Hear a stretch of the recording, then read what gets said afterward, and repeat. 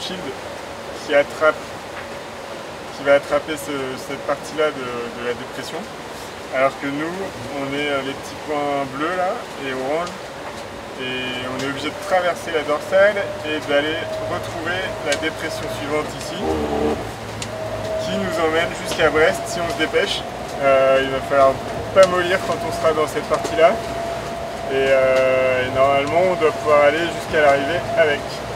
Ça va être assez serré parce qu'il va y avoir vraiment un regroupement euh, entre nous et l'actuel et les écarts vont être très très faibles il va falloir se battre à fond jusqu'au bout donc ça donne pas mal de pas mal d'enjeux sur cette fin de course il va falloir être en pleine forme et vraiment rien lâcher parce que ça va jouer à pas grand chose.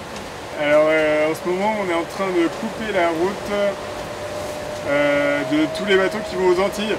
Donc euh, il y en a un, bon paquet. On en a croisé ce matin, on en a croisé deux. On voulait juste vous saluer, vous dire qu'on est très heureux de vous voir et vous souhaiter une bonne navigation. Ouais super, merci beaucoup. Bonne navigation à vous aussi. On vous voit pas, vous êtes à l'AIS, on vous voit pas Oui, on est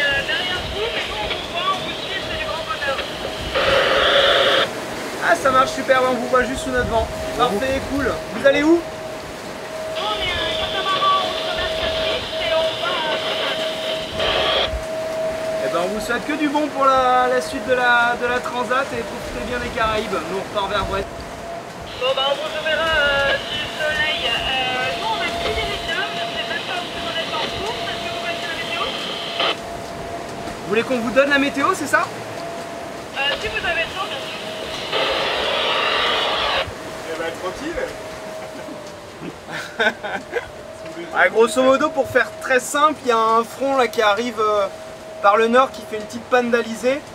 Donc grosso modo à notre euh, latitude, euh, il y aura guère plus de 12-13 nœuds et si vous allez un peu plus dans le sud, vous allez retrouver un peu de l'alizé un peu plus fort. la louche là comme ça très rapidement, j'aurais tendance à dire que ça vaut le coup d'aller rechercher un peu le vent dans le sud.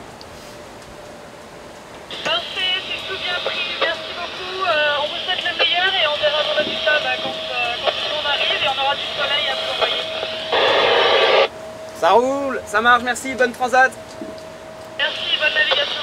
On a le radar qui est tout le temps en veille avec une zone de veille, euh, une zone d'alarme. Donc dès qu'il y a un bateau qui rentre dans cette zone, euh, on a une alarme qui sonne. Et on a aussi l'AIS qui nous permet de déterminer si on est en route de collision ou pas. Et on a aussi des alarmes qui sonnent euh, dès qu'il y a une route de collision.